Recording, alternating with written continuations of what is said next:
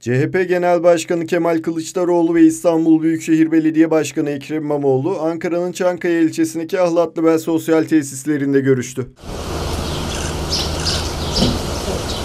28 Mayıs'taki Cumhurbaşkanı seçimlerinden sonra üçüncü kez bir araya gelen Kılıçdaroğlu ve İmamoğlu'nun basına kapalı görüşmesi bir buçuk saat sürdü.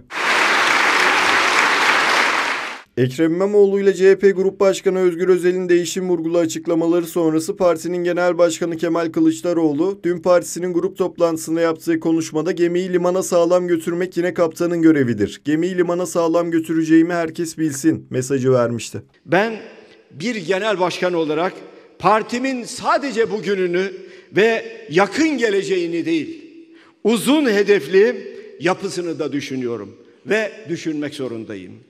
Hiç kimse unutmasın. Gemiyi limana sağlam götürmek yine kaptanın görevidir.